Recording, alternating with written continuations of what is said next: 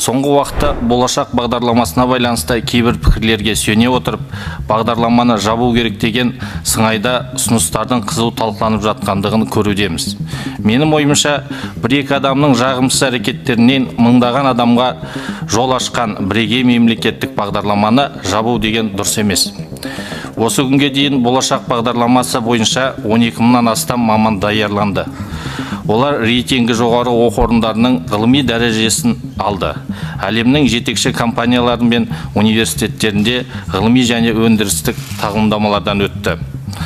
Бағдарлама аясында ауыл жастарына мемлекеттік қызметшілерге ғылыми және педагогикалық қызметкерлерге әлемнің ең мықты университеттерінде білім алуға зор мүмкіндік берілді.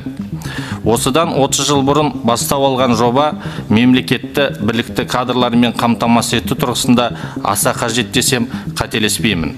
Бүгінде болашақ түлектері президент аппаратынан бастап барлық маңызды мекемелер мен ұлттық компанияларда қызмет етіп жүр. Жалпы алғанда республиканың барлық саласында қызмет етіп жатыр өңірлерде де. Одан бөлек бағдарлама бойынша оқып келген тағылымдамадан өткен түлектер әртүрлі салада еңбек етіп жатыр. Мәселен болашақ бағдарламасының түлектері мәселен ә, хирург ә, мыңжылқы бердіқожаев ми тамырларына жоғарғы технологиялық ота жасайтын санаулы дәрігерлердің бірі. Ол осы уақытқа дейін алты мыңнан астам ота жасады. Сонымен қатар медет махамбет жетпістен аса бірегей операцияның жаңа әдіспен құлақ қалқанын қалпына келтірген болатын. Бұл бір ғана медицина саласындағы оң тәжірибе. Басқа салаларда мұндай жетістікке жеткен білікті жоғары мамандар жетерлік. Жоғарыда айтылғандарды ескере отырып үкіметтен келесі шараларды қолға алуды ұсынамын. Болашақ бағдарламасы көптеген заң аясындағы актілермен реттелгендіктен ол өз кезегінде құқықтық қиындықтарды тудырды. Сондықтан болашақ бағдарламасының құқықтық мәртебесін арнайы заң аясында реттеуді ұсынамыз. Екіншіден шетелдерде қорғалған диссертациялардың электронды банкін жасау қажет. Бұл ғылыми жұмыстардың ашықтығын қамтамасыз етеді.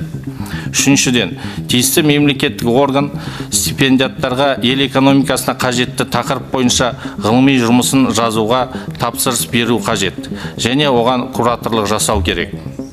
Төртіншіден оқуға құжат тапсыруды ә, кепілдікке қойылған мүлікті тіркеуді тіркеуден шығаруды цифрландыру қажет.